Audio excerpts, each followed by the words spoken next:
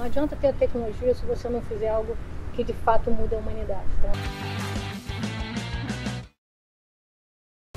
Lindália, que prazer te receber aqui hoje. Nossa Obrigada, dor, pelo convite. nossa locação oficial da Identidade de Sucesso. Lindália, são 20, mais de 25 anos de carreira na área de tecnologia, tem toda uma história por trás dessa mulher, né?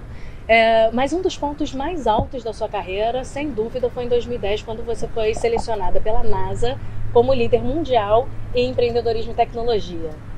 Como é que foi essa, esse processo de seleção e quais foram os, os aprendizados que você teve com ele?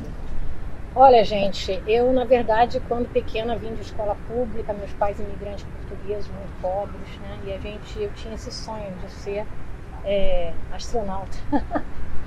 é, na verdade, não fui astronauta, mas cheguei na NASA, né? Eles abriram em 2010 um programa chamado Singularity University, né, para explorar as oito tecnologias exponenciais do mundo e selecionar um líder de cada país. Eu, na época, era head de inovação da Rede Globo e achei aquilo interessantíssimo. Me inscrevi, passei por várias entrevistas e fui selecionada.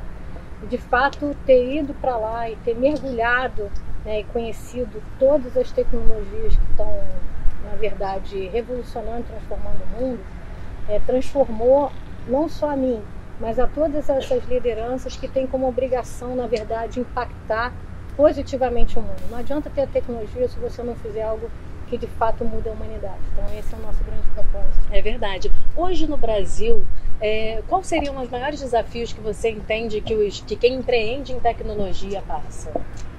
Ah, no, no, Brasil são tantos desafios.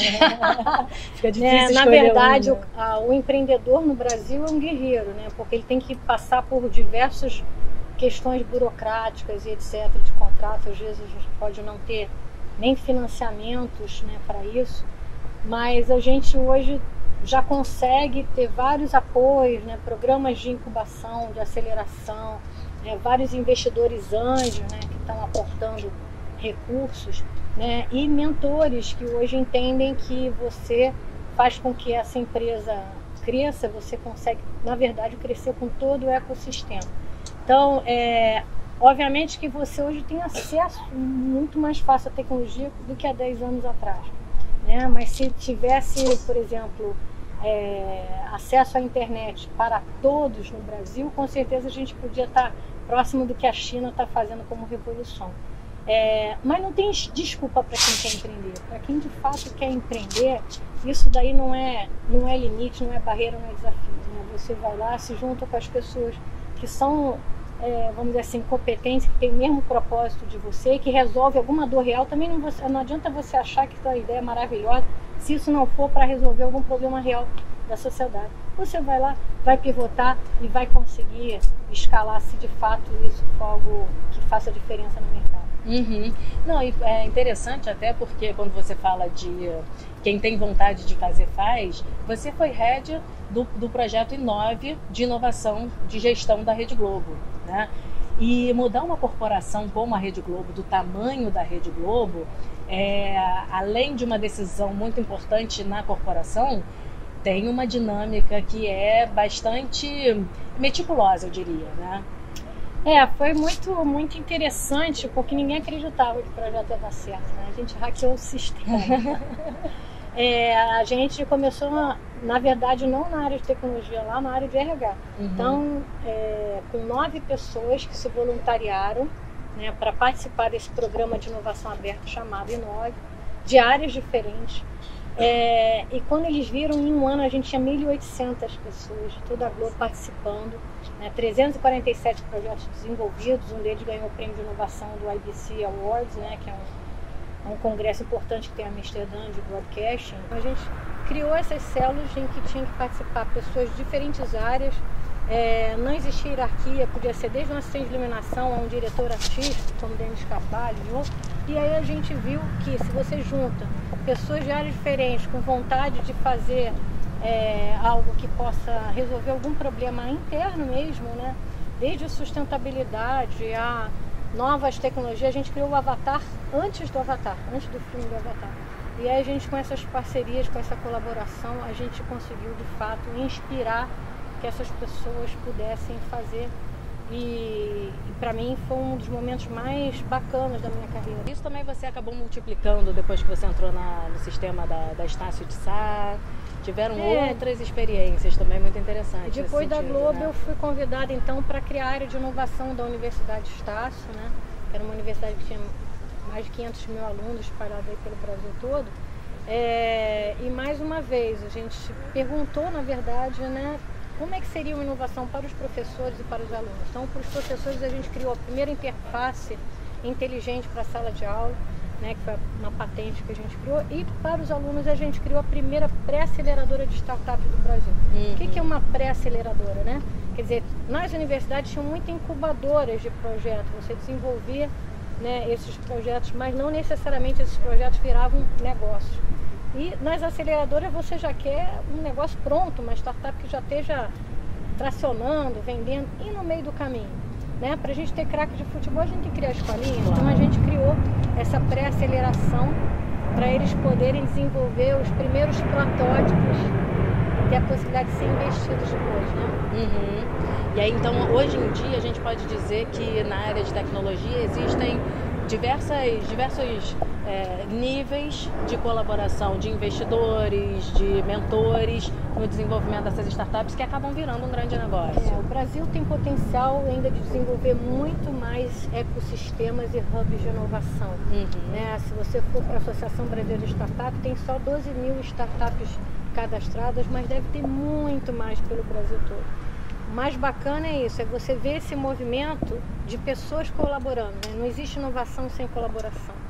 Então as pessoas colaboram desde a universidade, institutos de pesquisa, as empresas, né? Tem várias empresas lançando programas de, de startup, né? Vendo que as startups não vieram para destruir a empresa, mas sim para tornar certos processos mais ágeis, né?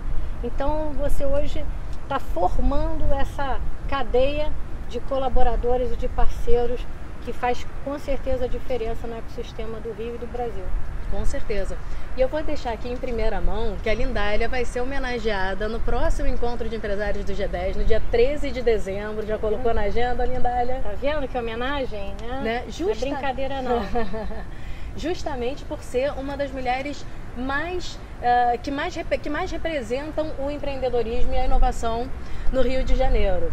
A Lindália está à frente, primeiro, Quer dar algumas palavras, Linda? É, eu não sou a mulher mais importante. Eu acho que a gente tem como propósito ajudar, inclusive, outras mulheres a aparecer. Tem muita mulher fazendo coisa bacana, mas às vezes a gente, né, não, não, não dá a cara, não mostra. Verdade. Às vezes trabalha tanto que não, não mostra os projetos. É? E por isso que eu participo, inclusive, da Rede Mulher Empreendedora, Mulheres do Brasil, de Mulheres Investidoras Anjo, que é a minha, para que a gente consiga dar voz, né? É, a mais mulheres que estejam fazendo a diferença. De fato, a gente recebe com muito carinho, com muita honra, para poder a gente conseguir fazer mais, né? A gente com isso poder fazer mais. Em 2018 você fundou o Hack in Rio, que hoje é o maior, uh, o maior eh, congresso de hackathon da América Latina. Né? E ele cresceu subitamente. É, com muito na esforço, verdade, com certeza. Com é, muito... ano passado, né, tava todo mundo querendo pegar a caravela e ir embora para Portugal. E a gente ia sou luz brasileira, mas essa caravela não vai caber lá. A gente tem que ficar aqui no Rio, tem que lutar para a nossa cidade melhorar, para se juntar com o governo, com a universidade, com investidores, empresários, empreendedores e fazer reescrever a nossa história. E foi aí que a gente fundou um movimento chamado Juntos pelo Rio, né? Que em março saiu na capa do Globo como um dos movimentos que trazia propostas positivas para o Rio de Janeiro. Uhum. A gente dividiu em clusters setoriais, educação, saúde, turismo, mobilidade urbana e energia e convidou as lideranças de cada um desses setores para colaborar e para trazer essa agenda positiva. Daí então surgiu a ideia de fazer um hackathon coletivo. Um hackathon é uma maratona de hackers, hackers do bem, né? É uma em 42 horas seguidas, esses desenvolvedores em equipe se unem, a gente lança desafios e eles é, fazem essa programação, esse desenvolvimento de soluções inovadoras. E a ideia era essa, juntar vários hackathons de setores diferentes para a gente poder trazer para o Rio é, esse hackathon coletivo. E então foi ano passado, não só o maior do Brasil, como o maior da América Latina, foram mais de 2.800 pessoas reunidas num final de semana no Rio de Janeiro, né, fazendo é, com que seja um inspiracional para que inclusive mais jovens queiram aprender a programar, mais pessoas na área de marketing digital, mais jornalistas, enfim. A gente precisa desenvolver mais profissionais para essa nova era né, da, da transformação digital. E esse ano o pessoal pediu para continuar a missão, não é fácil uhum. não, né? Então vai ser de 18 a 20 de outubro aqui no Aqua Corporate, no Porto Maravilha, né? E a gente de novo vai fazer com que todos esses desenvolvedores consigam transformar um pouquinho né, esse Rio de Janeiro. No ano passado foram 115 projetos desenvolvidos no final de semana, gente. É mesmo. Só para as pessoas terem uma noção, em quais áreas esses, esses hackers eles atuam para trazer soluções diferenciadas? Educação, saúde, turismo, economia criativa, energia, segurança, é, é tanta coisa, é, alimentação, enfim, todos os setores, energia, todos os setores, vamos dizer assim, aqui no Rio de Janeiro você tem representatividade. Então, lá no site tem explicado todos os Bacana. setores. Então, já fica o convite, né, Lindália? Fica o convite. Além disso, a gente faz dois dias de palestras, né, uhum. né, trazendo, como eu falei, lideranças que estão fazendo a diferença no Rio de Janeiro. Então, dia 18 e dia 19, de 9 às 19 horas, vão ter palestras desde a do Flávio Canto, né, que faz no Instituto Reação um trabalho lindíssimo, né? Ah, o César Taurion, que é presidente da, do, da inteligência artificial, né, do, do Brasil, enfim, que é carioca, são cariocas, né, que fazem diferença não só aqui como no mundo todo. É, é um evento de é um hackathon, mas voltado também para o público em geral, né? Sim. Né, os hackathons vão acontecer num dos andares do Aquacop e no outro andar vai acontecer as suas palestras e na final, né, no domingo, vão ser apresentados os vencedores, é aberto né, a todo mundo que se inscreveu e participou. Muito bacana. Lindália, depois de tantos anos de carreira, tantas, tantas conquistas, pode-se dizer, na sua área, né, ser precursor em, diversos, em diversas ações, o que você entende por sucesso? Gente, essa é a pergunta mais difícil, né? Porque assim, é, quem de fato é, faz sucesso é a pessoa que está sempre olhando para o futuro, tá? a pessoa que não para de é, construir, reconstruir é, os projetos. Assim, o que foi sucesso no passado pode não ser no futuro, né? Então, como diz Cora Coralina, feliz daquele que aprende o que ensina.